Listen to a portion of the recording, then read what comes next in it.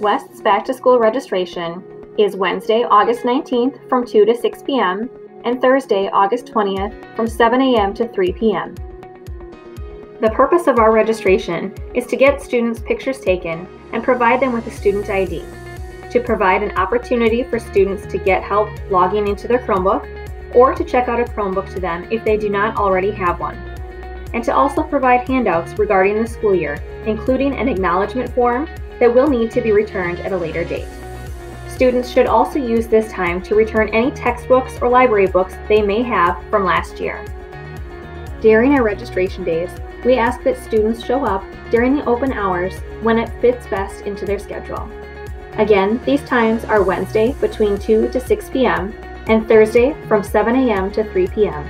We ask that parents stay in their cars or send students alone for this registration period.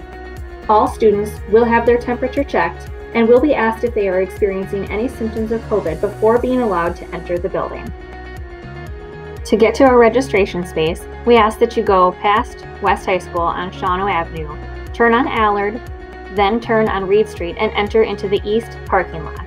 Or you can take Reed Street from past the Resch Aquatic Center. Students will begin the registration process by checking in near door number 7. They will enter into the gym and follow the following layout to go through the registration process.